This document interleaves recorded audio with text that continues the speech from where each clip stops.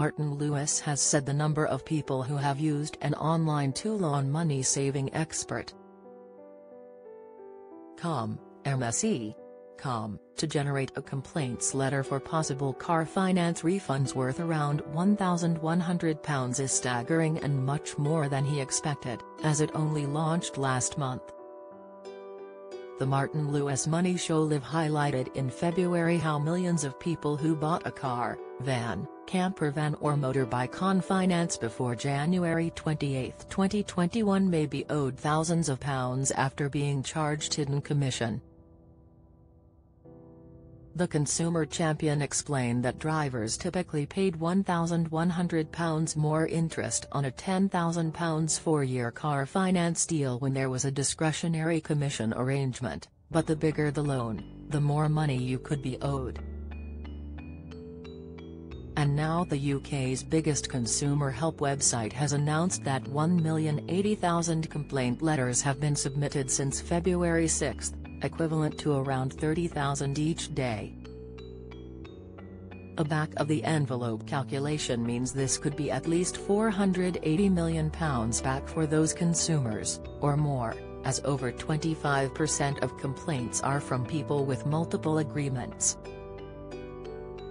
A decision by the Financial Conduct Authority, FCA, on whether or not payouts could be due is not expected until September 25, 2024.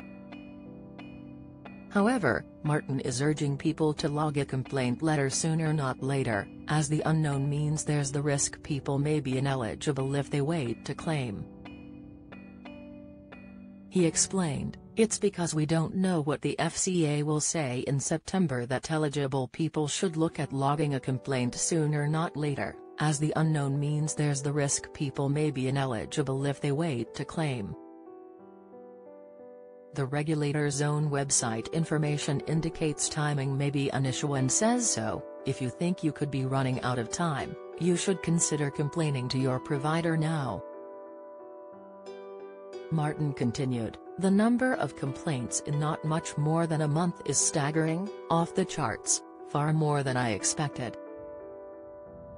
So, it's not surprising that some firms are struggling to respond to complaints in a decent time. To frustrated complainers, I'd say for now we should be prepared to give companies some wriggle room on timings, but firms need to urgently step up their complaint handling resources. And this is just the beginning. Even though we were at the vanguard of PPI and bank charge reclaiming, in terms of numbers of complaints, this feels like it is building up even more quickly. In value terms, car finance mis-selling is potentially going to be the second biggest reclaim payout in UK history, possibly over £10 billion repaid, which could even provide a fill-up to the economy as PPI did. Lloyds has already put aside a provision of £450 million towards potential costs and payouts for this. A strong indication that it thinks it, and by inference others, will probably need to pay back money due to DCA mis-selling. Though of course, we won't know until the FCA's ruling due in September. MSE Com's 5 Car Finance Commission mis-selling need to knows this is for those who bought a car, van, camper van or motorbike on PCP or hire purchase deals, not leasing for primarily personal use between April 2007 and January 28, 2021. Lenders said brokers and car dealers had discretion to push the interest rates higher, and the more they did that, the more commission they'd receive. These were called discretionary commission arrangements, DCAs, and customers were rarely told about them. Around 40% of these car finance deals had DCAs, meaning millions overpaid without knowing.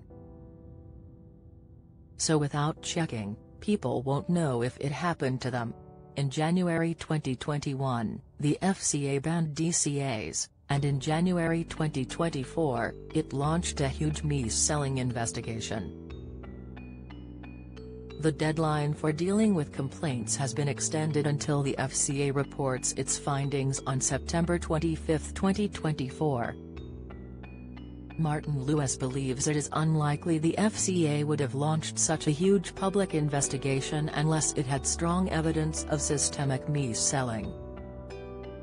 Yet he says until the FCA reports its findings, nothing is certain, and as one big risk is that there is a time bar placed on complaints, urges people to log a complaint as soon as possible, to avoid the risk of being timed out. There is no need to use a no-win, no-fee claims firm. With the totally free MSE tool, found here, you just answer a few questions on your car finance agreement, answers aren't recorded, so as not to inadvertently data mine, and then the tool builds an email to request information on whether you had a DCA then logs a complaint. Get the latest record money news join the conversation on our Money Saving Scotland Facebook group for energy and money saving tips, the latest benefits news, consumer help and advice on coping with the cost of living crisis.